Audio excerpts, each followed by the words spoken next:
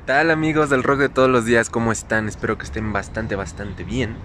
Hoy me van a acompañar a una exploración urbana en un parquecito que está por aquí en Iscali, que tiene una historia pues un poquito macabra.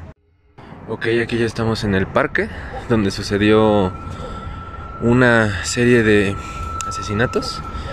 Alguna vez un policía me llegó a platicar un poco de esta persona. Ahí hay un módulo, a ver si, si quieren contestar nuestras preguntas. Bueno, mis preguntas. Y que nos cuenten un poquito más, ya que no, no conozco mucho de la historia. Bueno, evidentemente pues no, no, no pude grabar absolutamente nada. Ni audio, ni video acerca de lo que me contaron.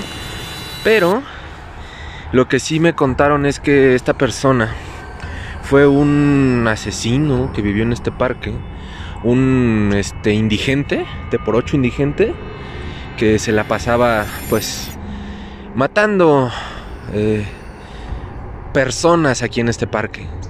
Bueno, este parque es tiene cierta fama curiosa porque este lugar de Cutlán Izcalli es un poquito famoso por Digamos que hay parejas de jariosos que se vienen a este parque a hacer sus asuntos, a hacer, ya saben. Entonces, entonces la historia que me contaron los oficiales fue que este indigente operó entre el año 2003 y 2007 y pues en lo más recóndito del parque que es donde él vivía y a donde las parejas se iban a, ya saben, él los sorprendía de alguna forma y los asesinaba. Pero pues ya ahorita, ahorita iremos a la parte más recóndita del parque. Ahorita pues ya está más tranquilo, de hecho acá hay un campo de fútbol americano más por aquí. Pero para allá, más al fondo, muy muy muy al fondo, está una parte donde ahí operaban las, este, el, asesino y donde pues las parejas iban a, a hacer sus faltas a la moral, ¿verdad? ok, ya más o menos por aquí fue donde operaba el indigente. Bueno, las parejas se, por aquí entre estos árboles es donde se escondían. Me comentan evidentemente los oficiales que han arrestado a varias por ahí, que hacen las denuncias. Bueno, es que no sé si se alcanza a ver, pero más hasta el fondo hay, hay una como unidad habitacional. Entonces, de ese lado pues sí se alcanza a ver un poquito, ¿no?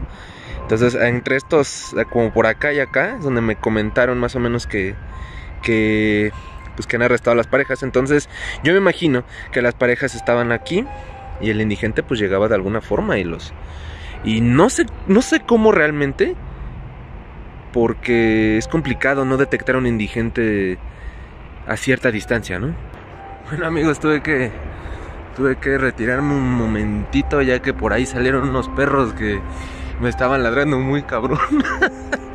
Pero este otra vez nos estamos adentrando a donde agarraban a las víctimas, ¿no? A las víctimas de este indigente asesino, ¿no? Y también es que tengo que tener cuidado aquí porque ya como que la está más más elevada. Se alcanza a ver, está más elevada acá la la pues este la hierba. Entonces tengo que ir caminando con un poquito de, de cuidado. Bueno, aquí ya me encuentro en la parte más donde se efectuaron muchos asesinatos, aquí entre estos árboles. Estos de acá. Aquí fue donde se cometieron muchísimos asesinatos. Dijeron los oficiales que aproximadamente 23 personas, adolescentes en su mayoría, pues murieron. Murieron aquí asesinados. Y este indigente pues les quitaba su ropa, les quitaba sus pertenencias. Entonces, pues banda, un consejo. Aguántense o trabajen para que se paguen al menos un, un motel o algo. Y bueno amigos, finalmente eh, me comentaron que donde aquí había un laguito, por aquí, por esta parte que es como una, parece una pequeña islita, era donde estaba, donde se resguardaba este, pues este indigente. Por ahí me comentaron que hasta hace como unos 10 años más o menos todavía se alcanzaba a ver una casita que construyó él de, de madera, con tablas de madera. No sé cómo las haya amarrado o, soldado o atornillado, no sé, pero Pero pues ahí, ahí donde se resguardaba él, se iba por este camino. Yo me imagino porque ya no hay otro camino por acá. Y supongo que por aquí llegaba. Y sus víctimas pues se, se ponían ahí en todos estos árboles, ¿no? Entonces pues no, no olviden la moraleja banda. Ahorita salió un vecino que ahorita que me acerqué más para allá y le pude preguntar este si sabía algo de, la historia de pues de acá de este indigente, ¿no? Ya que fue muy sonada por lo que me contaron en Izcali en estos alrededores entre el 2003 y 2007.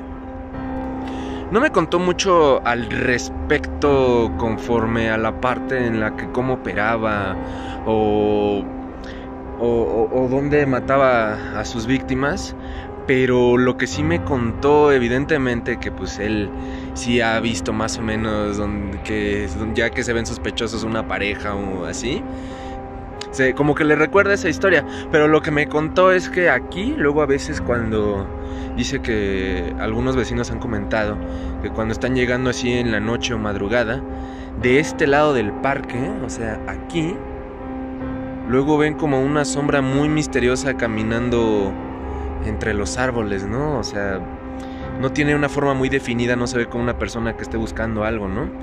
Sin embargo, también me dice que ah, luego a veces también asaltan mucho aquí en la noche y en la madrugada, entonces pues... En fin amigos, esto sería todo por esta pequeña exploración urbana. Si quieren una parte 2, por favor coméntenlo aquí en los comentarios de, este evento del aniversario del Horror Show. Eh, denle muchísimos likes, compartan este en vivo. Por favor, se los pedimos mucho para que hagamos una parte 2. A lo mejor ya nos podremos adentrar en la noche. Evidentemente yo no voy a venir solo por lo peligroso que puede ser, me, como les comento dijeron que hay asaltantes aquí también. Entonces pues teniendo un poquito de cuidado, ¿no? Y a lo mejor también pidiendo permiso aquí a, a los oficiales, al módulo que está por allá para que igual pues nos echen también la mano con estar alerta o no, no sé si nos puedan cuidar, ¿no? Pero eh, me refiero a la parte de los asaltantes. Si podemos captar algo paranormal, pues estaría muy chingón. Pero eso ya sería pero una parte 2. Comenten aquí si quieren que haya, aquí en los comentarios si quieren que haya parte 2. Y pues nada amigos, eso sería todo. Muchísimas gracias a los que se han estado pasando el envío. Y pues nada, que el horror continúe.